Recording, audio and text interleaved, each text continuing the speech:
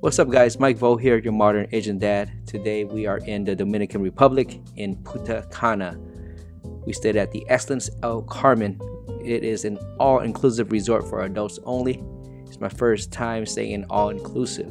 We paid about $3,500 to fly from San Francisco. When you first check in, you walk down these stairs and you'll be greeted by this bar. This is the main focal point of the whole resort.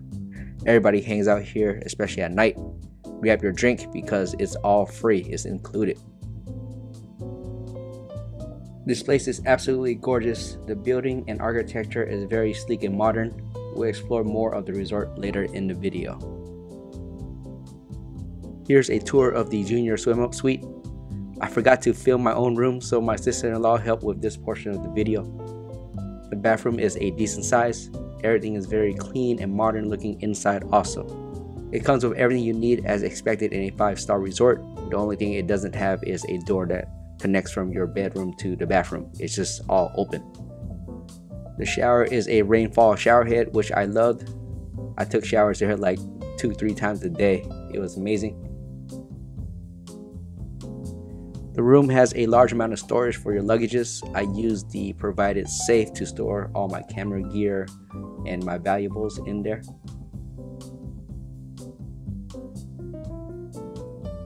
The king size bed is nice and comfy. It reminded me of my own bed at home. I slept very well in it with no issues. There's also USB ports on both sides of the bed so you could charge your phone. All of the food and alcohol is included so you could drink and eat as much as you like.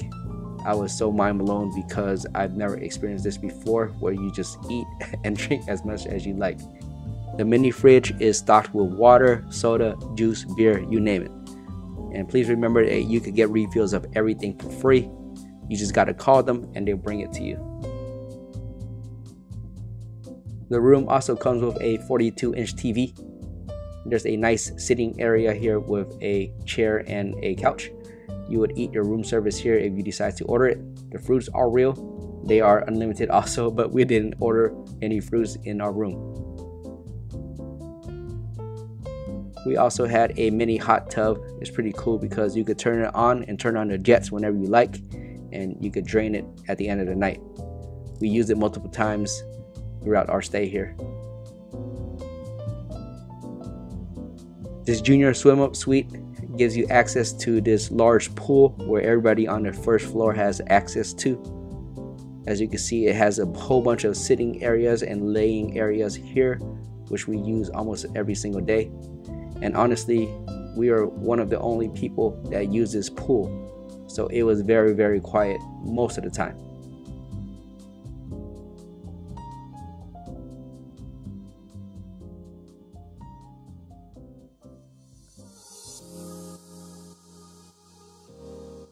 So what's there to do at an all-inclusive resort? You eat and you drink.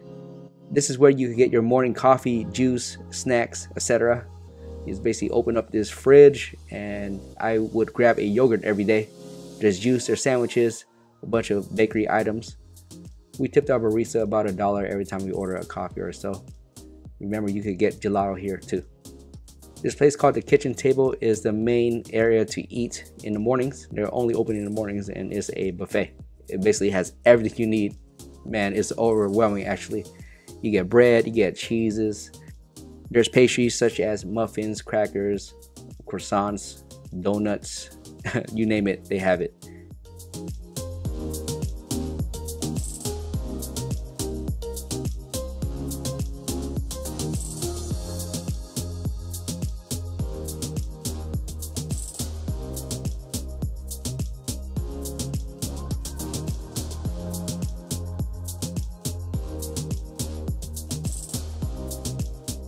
Favorite thing to make is the omelets here. You get to customize it with any ingredients you like and they make it right in front of you.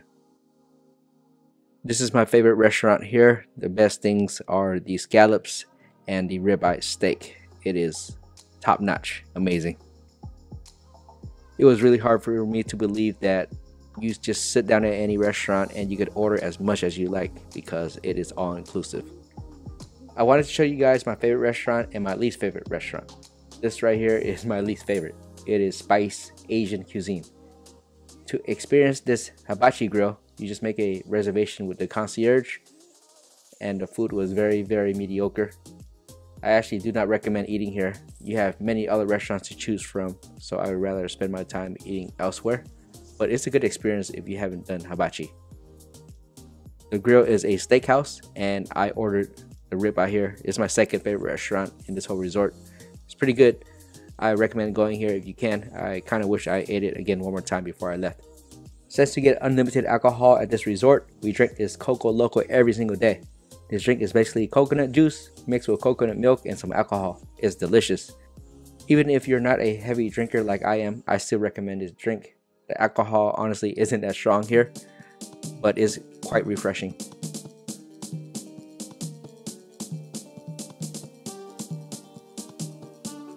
There are two food trucks here, and honestly, the food truck's not that great. Um, we only got it for a quick bite if we didn't want to sit down at a restaurant. The juice and smoothie bar here is a 10 out of 10. We drank multiple drinks every single day. There's no alcohol, it's just a regular smoothie bar. Amazing. There are many different activities every single day. This one shows you how a traditional Dominican dish is prepared you see to mix all of the veggies and the meat together and it creates like a stew or a gumbo type of dish. It was actually pretty good. This was my very first taste of Dominican food ever. So after eating and drinking multiple times every single day, you gotta go to the gym. The gym has everything you need and honestly it wasn't that packed. As I mentioned before, this is my very first time at an all-inclusive resort and this is an official five-star resort also. The customer service here is absolutely amazing. It's a 10 out of 10 they upkeep and maintain this place in pristine condition. I did not see any trash or any mess at all. If you're looking to go to a five-star all-inclusive resort and if you don't want to bring your kids this is an amazing place. It's all adults only as mentioned earlier and I cannot recommend it enough.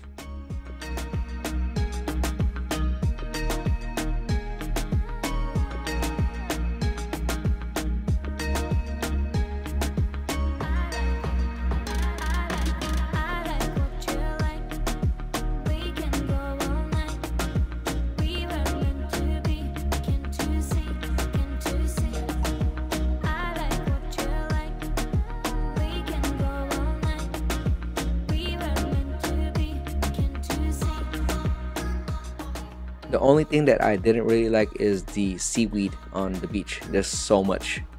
But they do try to clean it though, but you cannot avoid it at all. This worker here was really cool. We were just swimming at the pool and he came up to us with a coconut or multiple coconuts. I guess he has to climb up these coconut trees and chop them down before they fall on people. So he's just maintaining everything. And he cut up some fresh coconuts for us. He gave us like multiple coconuts also. There are multiple things for you to do every single day. We chose to go to this archery class, and my wife, she's really good. She hit the target. I couldn't even hit anything. This cigar rolling demonstration was actually pretty cool. The Caribbean is known for having some of the best cigars, and this man is showing how cigars are made. It's pretty cool to experience even if you're not a smoker.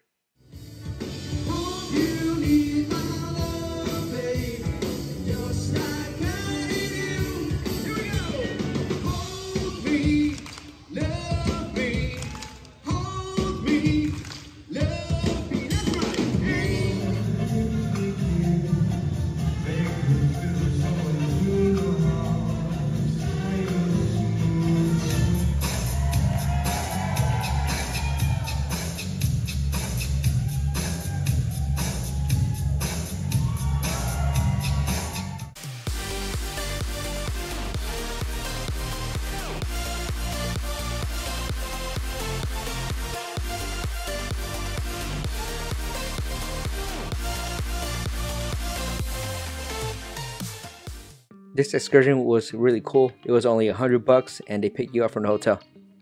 I didn't carry my phone because I couldn't secure it while going on the zip line, so here are some photos. You paid extra for the photos package.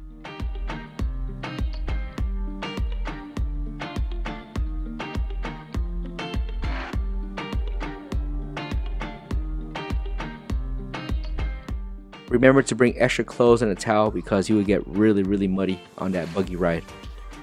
I highly recommend going to this place and I'm really glad that we paid for this experience because I never experienced anything like it. Going to Saona Island was our last excursion for our trip. I think we paid about $165 for everything. I'll put a link in the description below. This is our tour guide Melvin and he is amazing at what he does. He goes out here every single day. He even took us to a turtle conservatory and it's my very first time seeing a baby sea turtle up front. It was really cool. You get to hang out at this private beach for a little while so it allowed us to do a quick photo shoot and allowed me to fly my drone to check out the whole area. The sand is nice and soft, the water is clear and warm. I've never seen a more beautiful beach in real life before you know you get to see these beaches on TV or on YouTube or whatnot but I've never experienced this beach before this area of the water is only like two feet deep and it's really really cool because you get to hold starfish and just hang out in the warm water lunch was also provided by Melvin and his team he also provided water juice soda rum and coke it was really good the experience was really nice I left a link in the description to book this tour, so make sure you go here if you ever go to the Dominican Republic. Thank you guys for watching. We'll catch you guys in the next one. Peace.